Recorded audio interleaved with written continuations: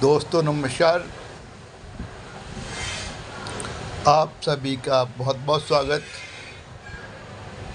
आज हम इन दो हथेलियों पर एक आंशिक विश्लेषण कर रहे हैं कि हथेली के भारी होने का या पतले होने का हमारी सफलता पर क्या प्रभाव पड़ता है। मान लीजिए कि एक हथेली पतली है, एक हथेली भारी है, लेकिन दोनों हथेलियों पर भाग्य रेखा एक जैसी, सूर्य रेखा एक जैसी, लेकिन परिणाम अलग अलग कैसे? आइए समझते हैं। पहले ऊपर वाला हाथ देखिए। इस हथेली पर भाग्य रेखा बहुत शुभ शनि पर्वत तक पहुँच रही है और सूर्य रेखा लगभग 25 के आसपास से जातक को सफलता दे रही है। नीचे वाली हथेली देखिए आप लोग, यहाँ पर भी भाग्य रेखा बेहद शुभ शनि पर्वत तक पहुँच रही है, निर्दोष।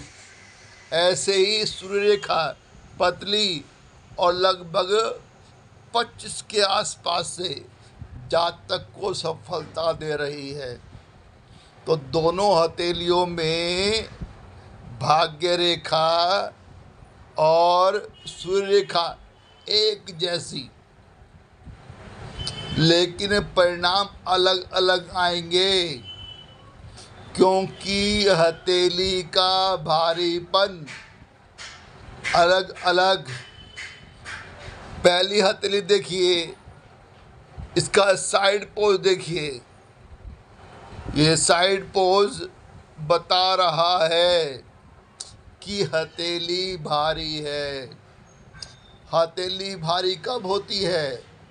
जब हथेली पर मौजूद पर्वत अच्छी अवस्था में होते हैं तो हथेली भारी हो जाती है। जब पर्वत उच्च अवस्था में होंगे, हर एक पर्वत किसी खास ग्रह को रिप्रेजेंट करता है।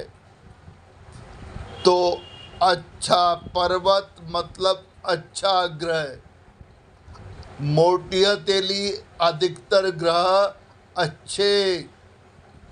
जब ग्रह अच्छे होते हैं, जातक को सपोर्ट करते हैं तो लाभ अधिक मात्रा में कराते हैं और अगर हानि होनी होती है, उसे कम मात्रा में होने देते हैं। इसीलिए जो पहला हाथ है ना, उसको ज़्यादा सफलता मिलेगी।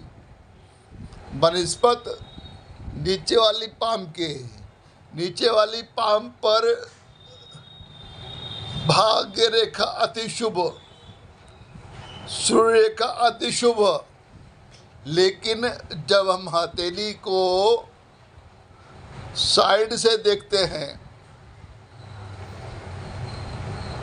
तो ये हथेली पतली। पतली हथेली का मतलब है कि अधिकतर पर्वत सामान्य भार के या निम्न दबे हुए हथेली पतली हो गई। हथेली पतली का मतलब कि ग्रह आपके अनुकूल नहीं है। जब जातक को